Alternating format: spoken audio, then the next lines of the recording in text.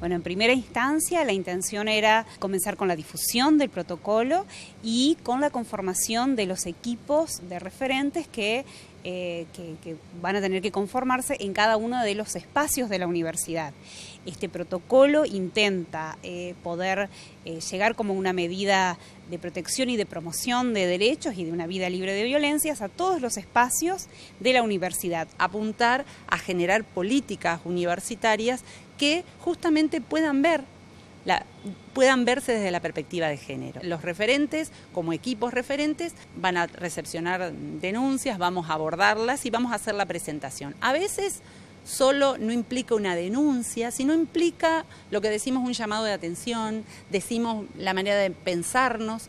Estamos construidos culturalmente desde una visión patriarcal, una visión que a veces no nos permite ver las diferencias como complementarias, sino como enemigas, y, sobre todo reconocer las diferentes identidades, que ya pasamos de las identidades femeninas y masculinas tienen diferentes maneras de, de hacerse cuerpo, digamos. Entonces, desde esta idea, estas son las dimensiones. Nuestra idea es justamente que todas las líneas que tiene la universidad pueda entender que el protocolo aporta a mejores relaciones.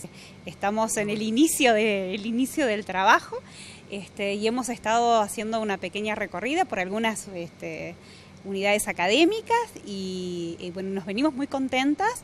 Eh, la gente reconoce la necesidad del abordaje de estas situaciones, eh, se ve muy positivamente eh, que la universidad como institución pueda ocuparse de una temática tan, tan preocupante porque en nuestro país muere, una mujer cada cada 24 horas a manos de su pareja o expareja y eso habla de algo que como sociedad necesitamos interpelar, entonces que la universidad pueda también interpelarse eh, es una cosa muy, muy bienvenida y bueno, tenemos muchas ganas de, comenzar a trabajar y de comenzar a, que el protocolo sea una herramienta productiva para mejorar las relaciones eh, de las personas que transitamos por la universidad.